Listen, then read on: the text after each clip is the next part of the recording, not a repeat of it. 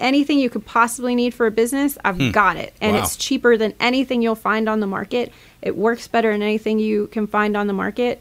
And then with that, you also need a community. So before I had all of our, we're Shark branding, right? So we had all of these great employees and I lost them all.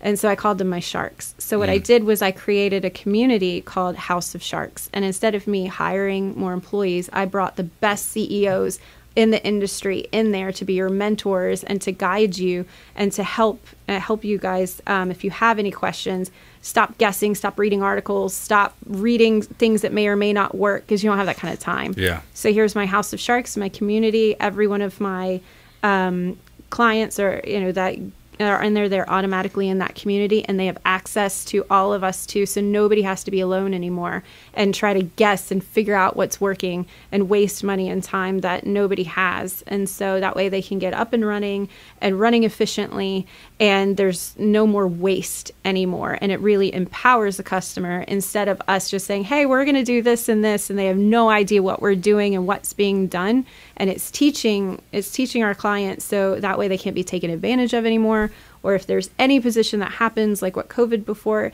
they have the best opportunity possible to sustain and survive Nice.